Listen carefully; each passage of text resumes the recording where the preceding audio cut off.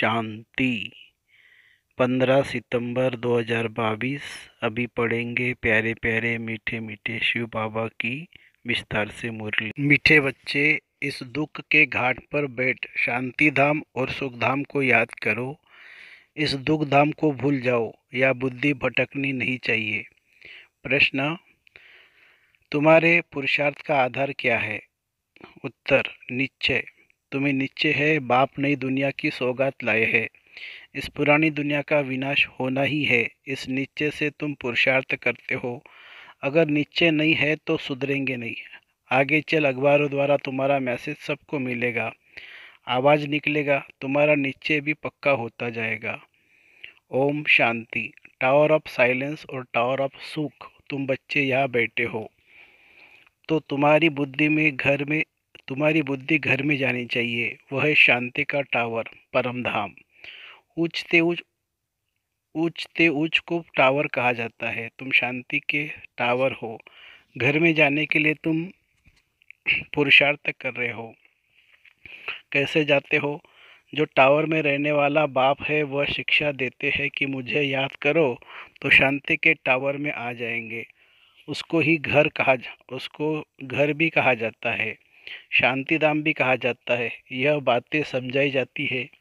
अपने शांति धाम सुखधाम को अपने शांति धाम सुखधाम की याद में रहो। नहीं रह सकते हो तो गोया जंगल के काटे हो, इसलिए दुख भासता है। अपने को शांति धाम के निवासी समझो। अपने घर को याद करना है, भूलना नहीं है। घर है ही बाप का, यह है ही दुख का घाट। या बैठे भी जिन या बैठे भी जिनको बाहर की बातें याद आती है तो ऐसे नहीं कहेंगे कि इनको अपना घर याद है, इसलिए बाप रोज़ शिक्षा देते रहते हैं। घड़ी घड़ी शांति धाम, सुख धाम को याद करो। गीता में भी बाप के महावाक्य है कि मुझे याद करो। भगवान क्या बनाएँगे? स्वर्ग का मालिक बनाएँगे। स्वर्ग का मालिक बनने के बैठे हो तो घर के लिए, स्वर्ग के लिए जो बाप श्रीमत देते उस पर पूरा पूरा चलना है। दुनिया में कितने ढेर के ढेर गुरु है। बाप ने समझाया है कि कोई भी धर्म स्थापक गुरु, कोई भी धर्म स्थापक को गुरु नहीं कहा जाता है। वह तो सिर्फ़ धर्म स्थापन के लिए आते हैं, वापस ले जाने के लिए थोड़ी आते हैं। गुरु अर्थात जो वापस निर्वाण धाम वानप्रस्थ में ले जाए, परंतु एक भी गुरु वापस ले जाने वाला है नहीं। एक भी निर्वाण धाम में जाते नहीं है, वाणी से परे अर्थात घर। वानप्रस्थ का अर्थ न गुरु लोग जानते हैं, न फॉलोअर्स ही जानते हैं। तो बच्चों को कितना समझाया जाता है? यह चित्र है सत्युग सत्युग के और वह चित्र है त्रेता के। उन्हों को भगवान नहीं कहा जाता है। लक्ष्मी नारायण को भी भगवान भगवती नहीं कहा जाता है। आदि सनातन है देवी देवता धर्म, सिवाय देवी देवताओं के कोई भी स्थायी पवित्र होते नहीं हैं। एक ही जन्म पवित्र सिर्फ़ एक ही धर्म रहता है। फिर धीरे धीरे अवस्था कम होती जाती है। त्रेता में दो कला कम हो, त्रेता में दो कला कम तो सुख भी कम हो जाता है, उसको कहा जाता है त्रेता युग। चौदह कला अभी तुमको बाप का परिचय है। चौदह कला। अभी तुमको बाप का परिचय है। और सृष्टि चक्र का ज्ञान है, उसको ही तुम याद करते हो, परंतु कई योग की बुद्धि में कहा न कहा भटकती रहती है। याद नहीं करते? अच्छा और कुछ भी न समझ सको तो आस्तिक बनकर बाप को याद तो बाप को तो बुद्धि में याद रखो। बाप और रचना के आदि मध्य अंतों को तो जानते हो ना। उस झाड़ का आदि मध्य अंत नहीं कहा जाता है। इस झाड़ का आदि मध्य अंत है क्योंकि मध्य में रावण राज्य शुरू हो जाता है। कांटा बनना शुरू होता है, बगीचा जंगल बनना शुरू होता है। इस समय सारे झाड़ की जड़ जड़ीभूत अवस्था हो गई है। सारा झाड़ सूख कर तम प्रधान हो गया है। सारा सूखा हुआ झाड़ है। फिर कलम लगाना पड़े। इसका कलम लगता है। कलम न लगने तो प्रलय हो जाए। प्रलय अर्थात सारी जलमयी नहीं होती है। भारत रह जाता है। परंतु जलमयी नाम तो है ना। मीठे मीठे बच्चे जानते हैं कि चारों ओर ही जलमयी हो जाती है, भारत ही सिर्फ़ रहता है। जैसे बाढ़ आती है, फिर उतरती भी है ना? कहते भी है बी के सारा दिन मौत ही मौत कहते रहते हैं। बस मौत आने वाला है तो समझते हैं कि ये तो अशुभ बोलते हैं। बोलो नहीं, हम कोई विनाश थोड़ी कहते हैं। हम तो कहते पवित्रता, सुख, शांति का धर्म स्थापन हो रहा है। विनाश न हो तो शांति कैसे हो? गुप्त वेश में शांतिधाम सुखधाम की स्थापना हो रही है। यह तो हम शुभ बोलते हैं। तुम भी कहते हो ना, हे पतित पावन आओ हमको पावन बनाकर ले चलो। तुम खुद कहते हो ना कि हमको ले चलो। हम भी शुभ बोलते हैं, तुम भी शुभ बोलते हो। तुम कहते हो हमको पावन बनाकर इस दुखधाम की दुनिया से ले चलो शांति धाम यह तो शुभ बोलते हो ना।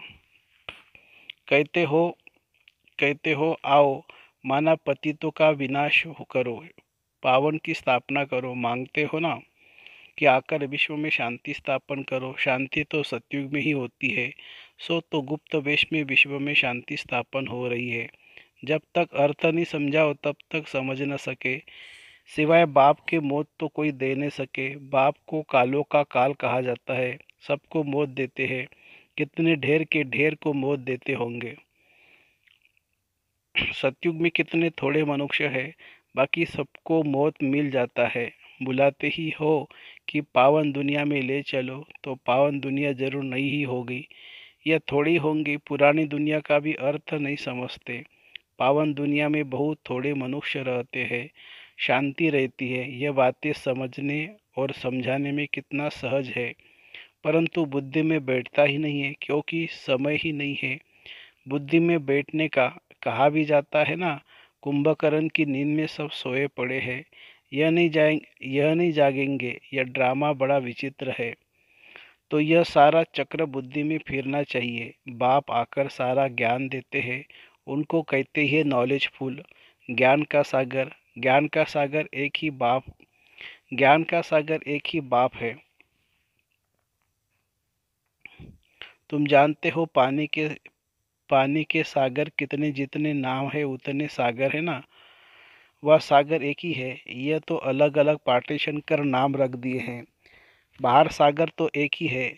वास्कोडी गामा भी सारा चक्र लगाए, फिर भी, फिर वहाँ ही आकर खड़ा हो गया। तो सागर एक ही है ना। बीच बीच में टुकड़ा टुकड़ा कर अलग अलग बना दिया है। धरनी भी सारी एक ही है, परंतु टुकड़ा टुकड़ा खुई पड़ी है। तुम्हारा राज्य कितना है? तो धरनी भी एक ही होती है, राज्य भी एक ही होता है, नो टुकड़ा टुकड़ा। बाप आकर राज्य देते हैं, सारे सागर पर, सारी धरनी पर, सारे आसमान पर तुम्हारा राज्य होता है। मुक्ति में तो सब जाएँगे, बाकी जीवन मुक्ति में जाना कोई मासी का घर थोड़ी है। मुक्ति में जाना तो कॉमन बात है। सब वापस लौटेंगे, जहाँ से आए हैं। फिर वहाँ जाएँगे ज़रूर। बाकी नई दुनिया में सब थोड़ी आएँगे। तुम्हारा ही राज्य है। कोई कोई तो इतना देरी से आते हैं जो पुरानी दुनिया शुरू होने से थोड़ा ही पहले यानी दो चार सौ वर्ष पहले आते हैं। वो क्या हुआ? जो अच्छी रीति नहीं पढ़ेंगे तो त्रेता में ही त्रेता में भी पिछाड़ी का थोड़ा समय रहेंगे। सोलह कला तो कभी बन न सके, चौदह कला के भी पिछाड़ी में आएँगे। उनको सामने दुख की दुनिया देखने में आएगी, कांटों की दुनिया के नज़दीक आ जाएँगे। वह कोई ये मालूम नहीं पड़ता है, सारी नॉलेज अभी है, जो बुद्धि में धारण करनी होती है।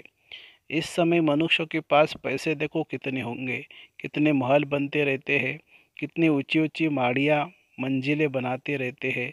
समझते सत्युग से भी भारत अभी ऊँच है। अभी ही अठारह बीस मंजिल बनाते रहते हैं तो अंत में कितनी मंजिल वाले बनाएँगे? सतयुग त्रेता में तो यह माड़िया, फ्लोर मंजिल होती नहीं है, द्वापर में भी नहीं होती है।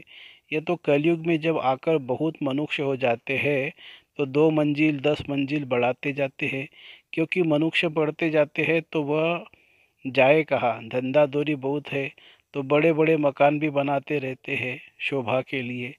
जंगल से मंगल हो, होता जाता है। कितने अच्छे अच्छे मकान बनते रहते ज़मीन लेते रहते ना।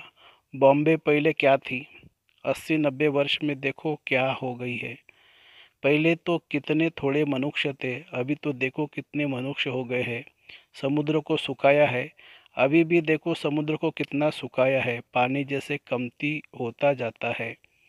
मनुष्य वृद्धि को पाते जाते हैं तो पानी कहाँ से आएगा? पानी कम होता जाता है, समुद्र हटता जाता, धर, धरती छोड़ता है तो मकान बना देते हैं।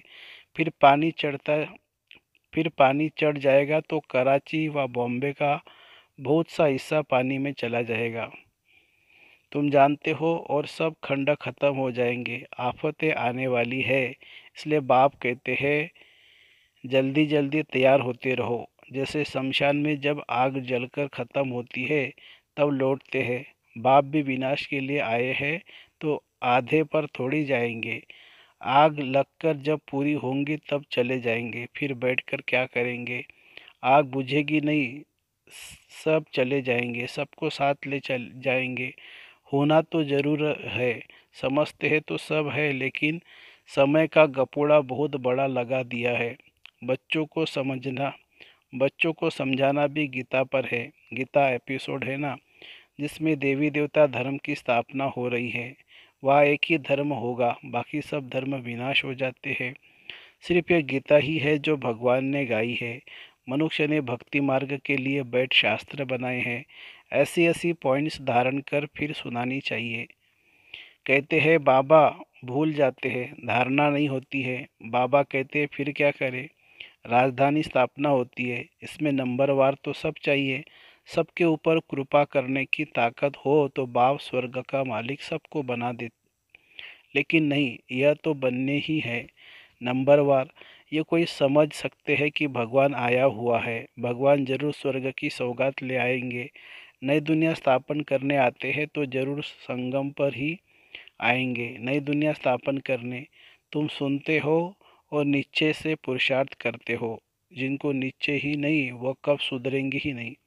बल कितना भी माथा मारो तो बाबा के अवतरण का पैगाम सबको देना है, मैसेज देना है। आगे चल अखबारों में पढ़ सक, पढ़ ही जाएगा। जैसे तुम्हारा नाम बदनाम भी अखबारों द्वारा हुआ, फिर नाम बाला भी अखबारों द्वारा ही होगा। दुनिया तो बहुत बड़ी है, सब जगह तो तुम बच्चियाँ जा नहीं सकेगी। कितने शहर है, कितनी ढेर भाषाएँ हैं। अखबारों द्वारा सब जगह आवाज़ पहुँचता, पहुँच जाता है। कोई भी आएगा, कहेगा हाँ अखबार हाँ अखबारों द्वारा आवाज़ सुना है तो तुम्हारा नाम अखबारों द्वारा ही होगा। ऐसा नहीं समझो कि सब तरफ़ तुमको जाना पड़ेगा।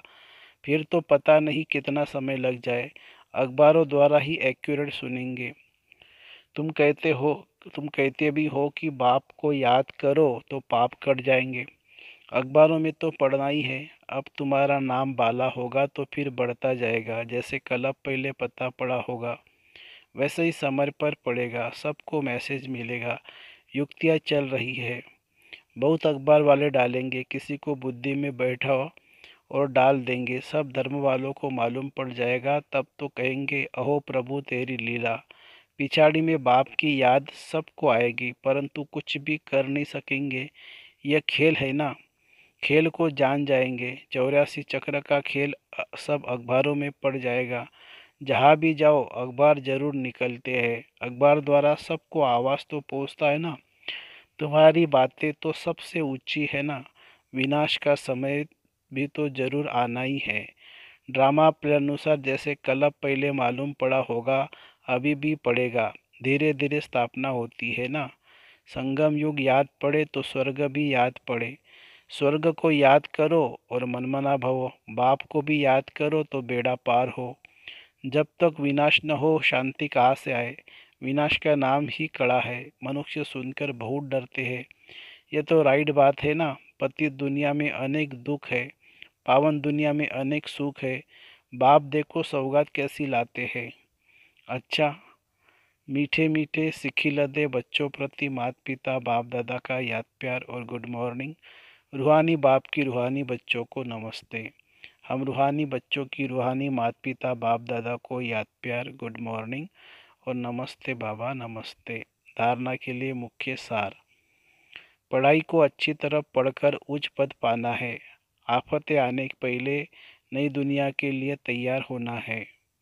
दूसरी पॉइंट, अपने को सुधारने के लिए निश्चय बुद्धि बनना है। वाणी से परे वानप्रस्थ में जाना है। इसलिए इस दुखधाम को भूल शांति धाम और सुख धाम को याद करना है।